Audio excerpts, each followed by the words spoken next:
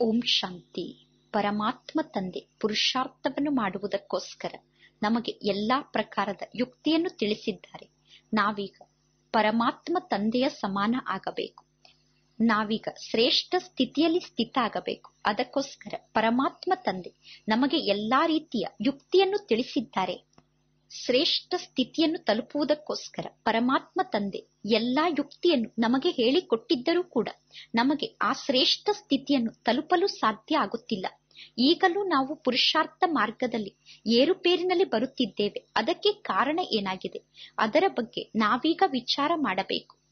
ನಾವು ಪುರುಷಾರ್ಥದಲ್ಲಿ ತೀವ್ರ ಗತಿಯಿಂದ ಮುಂದೆ ಹೋಗಲು ಸಾಧ್ಯ ಆಗುತ್ತಿಲ್ಲ. ಅದಕ್ಕೆ ಅನೇಕ ಕಾರಣ ಇದೆ.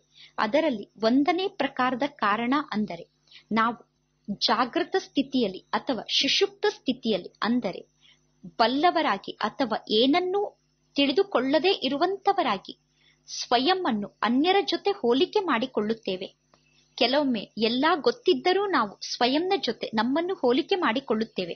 ಕೆಲವೊಮ್ಮೆ ನಮಗೆ ಗೊತ್ತಾಗದಂತೆ ನಾವು ಅನ್ಯರ ಜೊತೆ ನಮ್ಮನ್ನು ಹೋಲಿಕೆ ಮಾಡಿಕೊಳ್ಳುತ್ತೇವೆ. ಅದಕ್ಕೋಸ್ಕರ ಪರಮಾತ್ಮ ತಂದೆ ನಮಗೆ ಯುಕ್ತಿಯನ್ನು ತಿಳಿಸಿದ್ದಾರೆ. ತಂದೆಯನ್ನೇ ನೋಡಬೇಕು, ತಂದೆಯನ್ನೇ ಅನುಕರಣೆ ಮಾಡಬೇಕು. ತಂದೆಯನ್ನೇ ನೋಡುತ್ತೇನೆ ಅನ್ನುವ ಗುರಿಯನ್ನು ನೀವು ಸಮ್ಮುಖದಲ್ಲಿ ಇಟ್ಟುಕೊಳ್ಳಿ ಅನ್ನುವ ಯುಕ್ತಿಯನ್ನು ತಂದೆ ತಿಳಿಸಿದ್ದಾರೆ. ಪರಮಾತ್ಮ ತಂದೆಯಂತೂ ಸಂಪೂರ್ಣ ಆಗಿದ್ದಾರೆ. ಸಂಪೂರ್ಣ ಆಗಿರುವ ತಂದೆಯನ್ನು ಸಮ್ಮುಖದಲ್ಲಿಟ್ಟುಕೊಂಡು ತಂದೆಯನ್ನೇ ನೋಡಬೇಕು. ಮತ್ತು ಪರಮಾತ್ಮ ತಂದೆ ನಮಗೆ ಗುರಿಯನ್ನು ನೀಡಿದ್ದಾರೆ.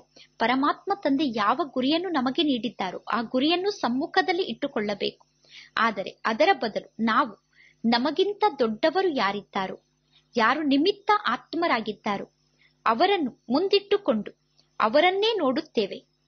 ನಮಗಿಂತ ಪುರುಷಾರ್ಥದಲ್ಲಿ ಯಾರು ಮುಂದೆ ಇದ್ದಾರೋ, ಯಾರು ನಮ್ಮ ಜೊತೆಗಾರರಾಗಿದ್ದಾರೋ ಯಾರು ಸೇವೆಯಲ್ಲಿ ನಮಗೆ ಜೊತೆಗಾರರಾಗಿದ್ದಾರೋ, ಸಹಯೋಗಿಗಳಾಗಿದ್ದಾರೋ, ಅವರನ್ನು ನೋಡುತ್ತೇವೆ. ಆಗ ನಮ್ಮ ಪುರುಷಾರ್ಥದ ತೀವ್ರತೆ ಕಡಿಮೆ ಆಗುತ್ತದೆ.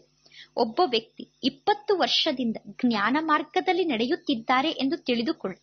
ಇಪ್ಪತ್ತು ವರ್ಷದಿಂದ ಅವರು ಜ್ಞಾನ ಮಾರ್ಗದಲ್ಲಿ ನಡೆಯುತ್ತಿದ್ದರೂ ಕೂಡ ಅವರನ್ನು ನೋಡಿ ಅನ್ಯರು ಹೇಳುತ್ತಾರೆ, ಇವರಲ್ಲಿ ಇಲ್ಲಿಯವರೆಗೂ ಕ್ರೋಧ ಇದೆ. ಇವರು ಇಪ್ಪತ್ತು ವರ್ಷ ಆದರೂ ಕ್ರೋಧದಿಂದ ಮುಕ್ತ ಆಗಿಲ್ಲ ಅಥವಾ ಇವರಲ್ಲಿ ಇಂತಹ ದೇಹಾಭಿಮಾನ ಇದೆ ಎಂದು ಅವರನ್ನು ನೋಡಿ ಯಾರಾದರೂ ಹೇಳುತ್ತಾರೆ, ಇಂತಹ ಅನೇಕ ಉದಾಹರಣೆಯನ್ನು ನಾವು ಜೀವನದಲ್ಲಿ ನೋಡಿದ್ದೇವೆ. ಅನೇಕ ವರ್ಷದಿಂದ ಜ್ಞಾನ ಮಾರ್ಗದಲ್ಲಿ ನಡೆಯುತ್ತಿದ್ದರೂ ಕೂಡ, ಮಕ್ಕಳಲ್ಲಿ ಈಗಲೂ ಕೂಡ ಅನೇಕ ಪ್ರಕಾರದ ಅವಗುಣ ಇದೆ. ಇಷ್ಟು ವರ್ಷದಿಂದ ಜ್ಞಾನ ಮಾರ್ಗದಲ್ಲಿ ನಡೆಯುತ್ತಿದ್ದರೂ ಕೂಡ, ನನ್ನಲ್ಲಿ ಯಾವುದೇ ಪ್ರಕಾರದ ಪರಿವರ್ತನೆ ಆಗಿಲ್ಲ. ಎಂದು ಸ್ವಯಂ ಅನ್ನು ನೋಡಿಕೊಂಡು ಸ್ವಯಂ ಹುಡುಗಾಟಿಕೆಗೆ ವಶ ಆಗುತ್ತಾರೆ ಆಲಸ್ಯಕ್ಕೆ ವಶ ಆಗುತ್ತಾರೆ ಆಗ ಪುರುಷಾರ್ಥದ ತೀವ್ರತೆ ಕಡಿಮೆ ಆಗುತ್ತದೆ. ಮಕ್ಕಳಿಗೆ ಸಂಕಲ್ಪ ಬರುತ್ತದೆ. ಬಾಬಾ ಎಲ್ಲಾ ಮಕ್ಕಳನ್ನು ವಾಪಸ್ ಮನೆಗೆ ಕರೆದುಕೊಂಡು ಹೋಗಲೇಬೇಕು. ಬಾಬಾ ಒಂಟಿಯಾಗಿ ಅಂತೂ ವಾಪಸ್ ಮನೆಗೆ ಹೋಗಲು ಸಾಧ್ಯ ಇಲ್ಲ. ಮತ್ತು ನಾನೊಬ್ಬನೇ ತಂದೆಯ ಜೊತೆಗೆ ವಾಪಸ್ ಮನೆಗೆ ಹೋಗಲು ಸಾಧ್ಯ ಇಲ್ಲ. ಅಂದ ಮೇಲೆ ನಾನೇಕೆ ಅನ್ಯರಂತೆ ಇರಬಾರದು, ಅನ್ಯರು ಪುರುಷಾರ್ಥ ಮಾಡುತ್ತಿಲ್ಲ ಅಂದ ಮೇಲೆ, ತಂದೆ ಎಲ್ಲರನ್ನೂ ಒಟ್ಟಿಗೆ ಕರೆದುಕೊಂಡು ಹೋಗುತ್ತಾರೆ ಅಂದ ಮೇಲೆ, ಅನ್ಯರು ಪರಿವರ್ತನೆ ಆದಾಗಲೇ ನಾನು ಪರಿವರ್ತನೆ ಆಗುತ್ತೇನೆ ಎಂದು ಅನ್ಯರನ್ನು ನೋಡಿ, ಮಕ್ಕಳು ಆಲಸ್ಯಕ್ಕೆ ವಶಾಗಿ ಪುರುಷಾರ್ಥ ಮಾಡುವುದನ್ನು ಬಿಟ್ಟು ಬಿಡುತ್ತಾರೆ. ಎಲ್ಲಿಯವರೆಗೂ ಎಲ್ಲರೂ ತಯಾರಾಗುವುದಿಲ್ಲವೋ ಅಲ್ಲಿಯವರೆಗೂ ನಾನು ಒಂಟಿಯಾಗಿ ತಯಾರಾಗಿ ಏನನ್ನು ಮಾಡಲಿ?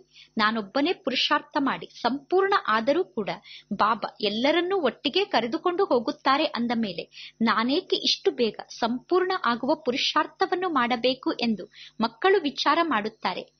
ಎಲ್ಲರೂ ಸಂಪೂರ್ಣ ಆದಾಗ ನಾನು ಸಂಪೂರ್ಣ ಆಗುತ್ತೇನೆ ಎಂದು ಎಲ್ಲರ ಬಗ್ಗೆ ವಿಚಾರ ಮಾಡಿ, ನಂತರ ಸ್ವಯಂನ ಬಗ್ಗೆ ವಿಚಾರ ಮಾಡುತ್ತಾರೆ.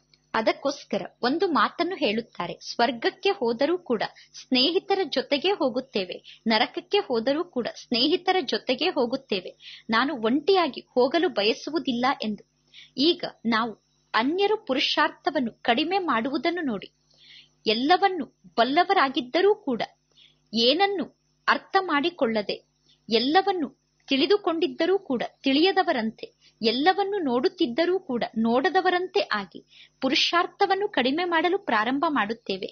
ಯಾವಾಗ ನಾವು ಅನ್ಯರ ಅವಗುಣವನ್ನು ನೋಡುತ್ತೇವೋ, ಆಗ ನಮ್ಮ ಪುರುಷಾರ್ಥದ ಗತಿ ಕೂಡ ಕಡಿಮೆ ಆಗಿ ಬಿಡುತ್ತದೆ. ಅದಕ್ಕೋಸ್ಕರ ಪರಮಾತ್ಮ ತಂದೆ ಸದಾ ಹೇಳುತ್ತಾರೆ, ಮಕ್ಕಳೇ, ಕೆಟ್ಟದ್ದನ್ನು ನೋಡಬೇಡಿ, ಕೆಟ್ಟದ್ದನ್ನು ಕೇಳಬೇಡಿ. ನೀವೀಗ ಈ ವ್ಯರ್ಥ ಮಾತುಗಳನ್ನು ನೋಡಲೇಬೇಡಿ, ವ್ಯರ್ಥ ಮಾತನ್ನು ಕೇಳಲೇಬೇಡಿ.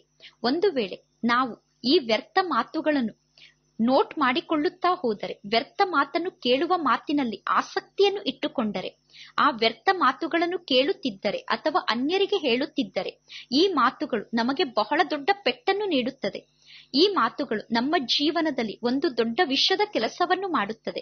ಪರಮಾತ್ಮ ತಂದೆ ತಿಳಿಸುತ್ತಾರೆ, ಪ್ರತಿಯೊಂದು ಆತ್ಮದ ಪಾತ್ರ ತಮ್ಮದೇ ಆದ ಪಾತ್ರ ಆಗಿದೆ. ಇಲ್ಲಿ ಒಬ್ಬರಂತೆ ಇನ್ನೊಬ್ಬರು ಇರಲು ಸಾಧ್ಯ ಇಲ್ಲ.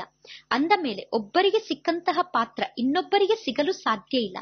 ಈ ಸೃಷ್ಟಿಯಲ್ಲಿ ಒಬ್ಬರ ಶರೀರದಂತೆ ಇನ್ನೊಬ್ಬರ ಶರೀರ ಇಲ್ಲ. ಒಬ್ಬರ ಸಂಸ್ಕಾರದಂತೆ ಇನ್ನೊಬ್ಬರ ಸಂಸ್ಕಾರ ಇಲ್ಲ ಅಂದ ಮೇಲೆ ನಾವೇಕೆ ನಮ್ಮನ್ನು ಅನ್ಯರ ಜೊತೆ ಹೋಲಿಕೆ ಮಾಡಿಕೊಳ್ಳಬೇಕು? ಪ್ರತಿಯೊಬ್ಬರ ಪಾತ್ರ ಬೇರೆ ಬೇರೆಯೇ ಆಗಿದೆ. ಪ್ರತಿಯೊಬ್ಬರ ಸ್ಥಿತಿ ಕೂಡ ಬೇರೆ ಬೇರೆ ಆಗಿದೆ. ಒಂದು ವೇಳೆ ಅವರ ಪಾತ್ರವನ್ನು ನೋಡಿ ನಾವು ಅದರಂತೆ ನಡೆಯಲು ಪ್ರಾರಂಭ ಮಾಡಿದರೆ ಆ ರೀತಿ ಅನ್ಯರ ಪಾತ್ರವನ್ನು ಅನುಕರಣೆ ಮಾಡುವುದರಿಂದ ನಮ್ಮ ಜೀವನ ಸರಿ ಹೋಗಲು ಸಾಧ್ಯ ಇಲ್ಲ. ನಾನೀಗ ಶಿವತಂದೆಯನ್ನೇ ಅನುಕರಣೆ ಮಾಡಬೇಕು. ಶಿವತಂದೆಯನ್ನು ಬಿಟ್ಟು ಬೇರೆ ಯಾರನ್ನೂ ಅನುಕರಣೆ ಮಾಡಬಾರದು. ಆದರೆ ಅನೇಕ ಬಾರಿ ನಾವು ಶಿವತಂದೆಯನ್ನು ಅನುಕರಣೆ ಮಾಡುವ ಮಾತನ್ನು ಮರೆತು ಬಿಡುತ್ತೇವೆ. ಪರಮಾತ್ಮ ತಂದೆ ನಮಗೆ ಅನೇಕ ಮಾತಿನ ಕಾರಣವನ್ನು ತಿಳಿಸುತ್ತಾರೆ. ಪರಮಾತ್ಮ ತಂದೆ ವಿಶೇಷವಾಗಿ ನಮಗೆ ಈ ಮಾತಿನ ಬಗ್ಗೆ ಗಮನ ಕೊಡಲು ಹೇಳುತ್ತಾರೆ. ನೀವೀಗ ಅನ್ಯರ ಜೊತೆ ನಿಮ್ಮನ್ನು ನೀವು ಏಕೆ ಹೋಲಿಕೆ ಮಾಡಿಕೊಳ್ಳುತ್ತೀರಾ? ನೀವು ಅನ್ಯರ ಜೊತೆ ಹೋಲಿಕೆ ಮಾಡಿಕೊಂಡಾಗ ನಿಮ್ಮ ಪುರುಷಾರ್ಥದ ಗತಿ ಕಡಿಮೆ ಆಗುತ್ತದೆ. ನಿಮ್ಮನ್ನು ನೋಡಿ ಯಾರಾದರೂ ನೀವು ಸರಿಯಿಲ್ಲ. ನೀವು ಸರಿಯಾಗಿ ಪುರುಷಾರ್ಥ ಮಾಡುತ್ತಿಲ್ಲ. ನಿಮ್ಮಲ್ಲಿ ಇಂತಿಂತಹ ಅವಗುಣ ಈಗಲೂ ಇದೆ ಎಂದು ಹೇಳಿದರೆ ಸಾಕು. ನೀವು ತಕ್ಷಣ ಹೇಳುತ್ತೀರಾ, ಯಾರು ಸರಿ ಇದ್ದಾರೆ ಎಂದು ಮೊದಲು ಹೇಳಿ. ಸರಿ ಇರುವವರನ್ನು ನೀವು ಮೊದಲು ನನಗೆ ತೋರಿಸಿ, ನಂತರ ನಾನು ಸರಿ ಆಗುತ್ತೇನೆ ಎಂದು.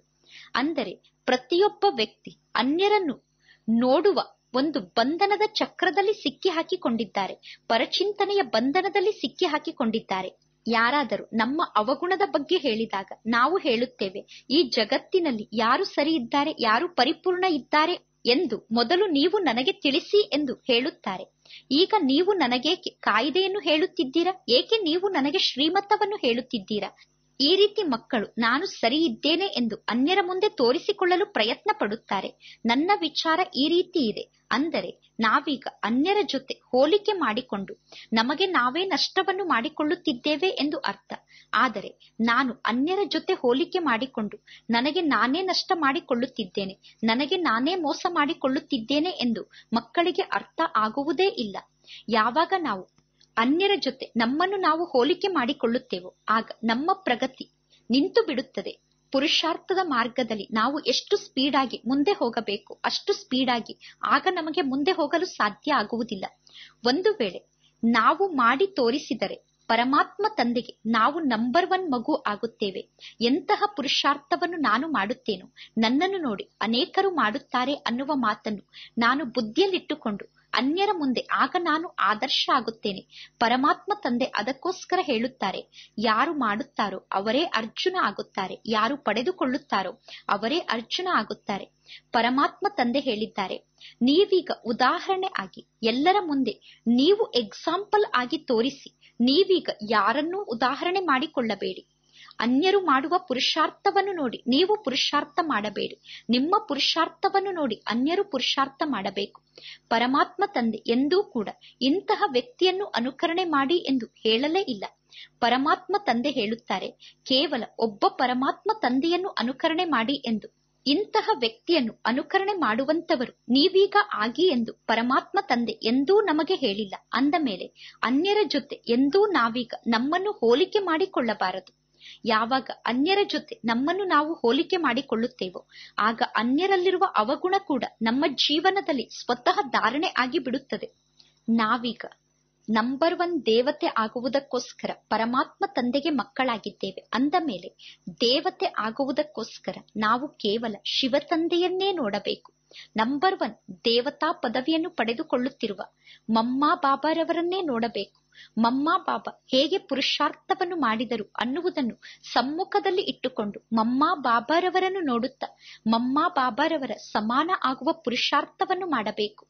ಅದನ್ನು ಬಿಟ್ಟು ಅನ್ಯರನ್ನು ನೋಡಿ ಅನ್ಯರಲ್ಲಿರುವ ಅವಗುಣವನ್ನು ಧಾರಣೆ ಮಾಡಿಕೊಂಡು ನಾವು ಕೂಡ ಅವಗುಣವುಳ್ಳಂತಹ ಅಸುರರು ಆಗಬಾರದು. ನಾವೀಗ ದೇವತೆ ಆಗುವಂತಹ ಪುರುಷಾರ್ಥವನ್ನು ಮಾಡಬೇಕು.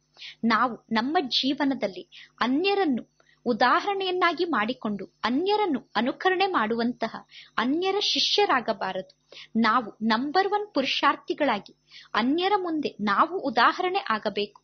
ಏಕೆಂದರೆ ನಾವು ಎಂತಹ ಪುರುಷಾರ್ಥವನ್ನು ಮಾಡುತ್ತೇವೋ ನಮ್ಮನ್ನು ನೋಡಿ ಎಲ್ಲರೂ ಮಾಡುತ್ತಾರೆ. ಎಲ್ಲರೂ ನಮ್ಮನ್ನು ನೋಡಿ ಮಾಡುತ್ತಿದ್ದಾರೆ ಅಂದ ಮೇಲೆ ನಾವೀಗ ಪುನಃ ಅನ್ಯರನ್ನು ನೋಡಬಾರದು. ನಾವು ಕೇವಲ ಪರಮಾತ್ಮ ತಂದೆಯನ್ನೇ ನೋಡುತ್ತಿರಬೇಕು. ಮತ್ತು ತಂದೆಯಂತೆ ಸಂಪನ್ನ ಮತ್ತು ಸಂಪೂರ್ಣ ಆಗುವಂತಹ ಪುರುಷಾರ್ಥದಲ್ಲಿ ಸದಾ ಮಗ್ನರಾಗಿರಬೇಕು. ಆಗ ನಾವು ಪರಮಾತ್ಮ ತಂದೆಯ ನಂಬರ್ ಒನ್ ಮಗು ಎಂದು ಹೇಳಿಸಿಕೊಳ್ಳಲು ಸಾಧ್ಯ ಆಗುತ್ತದೆ. ಮತ್ತು ಪರಮಾತ್ಮ ತಂದೆ ಈ ಮಗು ಆದರ್ಶ ಮಗು ಆಗಿದ್ದಾರೆ. ಎಲ್ಲರ ಮುಂದೆ ಈ ಮಗು ಉದಾಹರಣೆ ಆಗಿದ್ದಾರೆ ಎಂದು ನಮ್ಮನ್ನು ಉದಾಹರಣಾ ಮೂರ್ತಿಯನ್ನಾಗಿ ಮಾಡುತ್ತಾರೆ. ಅದಕ್ಕೋಸ್ಕರ ಪುರುಷಾರ್ಥವನ್ನು ಮಾಡುವಾಗ ನಾನು ಎಲ್ಲರಿಗಿಂತ ಶ್ರೇಷ್ಠ ಪುರುಷಾರ್ಥ ಮಾಡಬೇಕು. ನಾನು ನಂಬರ್ ಒನ್ನಲ್ಲಿ ಬರಬೇಕು ಅನ್ನುವ ಗುರಿ ಇರಬೇಕೇ ಹೊರತು ಅನ್ಯರು ಮಾಡುವಂತೆ ನಾನು ಮಾಡಬೇಕು ಅನ್ನುವ ವಿಚಾರವನ್ನು ಇಟ್ಟುಕೊಳ್ಳಬಾರದು. ಜಗತ್ತಿನ ಎಲ್ಲಾ ವ್ಯರ್ಥ ಮಾತಿನಿಂದ ದೂರಾಗಿ ಸದಾ ಸ್ವಯಂವನ್ನು ಪರಮಧಾಮದ ನಿವಾಸಿ, ಪರಮಾತ್ಮ ತಂದೆಯ ಸಮಾನ ಸ್ಥಿತಿಯಲ್ಲಿರುವ ಆತ್ಮ ಜ್ಯೋತಿ ನಾನು ಎಂದು ಅನುಭವ ಮಾಡಬೇಕು. ಅಥವಾ ನಾನು ಸೂಕ್ಷ್ಮ ವತನದ ನಿವಾಸಿ, ಬ್ರಹ್ಮ ತಂದೆಯ ಸಮಾನ, ಅವ್ಯಕ್ತ ಸ್ಥಿತಿಯಲ್ಲಿ ಸ್ಥಿತ ಆಗಿರುವ ಬ್ರಹ್ಮ ತಂದೆಯಂತೆ ಸಂಪನ್ನ ಮತ್ತು ಸಂಪೂರ್ಣ ಆಗಿರುವ ಆತ್ಮ ನಾನು ಎಂದು ಅನುಭವ ಮಾಡಬೇಕು. ಅಥವಾ ನಾನು ಸತ್ಯುಗದ ದೇವಾತ್ಮನಾಗಿದ್ದೇನೆ. ಸರ್ವ ದೈವಿ ಗುಣಗಳಿಂದ ಸಂಪನ್ನ ಆದಂತಹ ನಂಬರ್ ಒನ್ ದೇವಾತ್ಮ ನಾನು ಅನ್ನುವ ಸ್ಥಿತಿಯಲ್ಲಿ ನಾವು ಸ್ಥಿತ ಆಗಬೇಕು.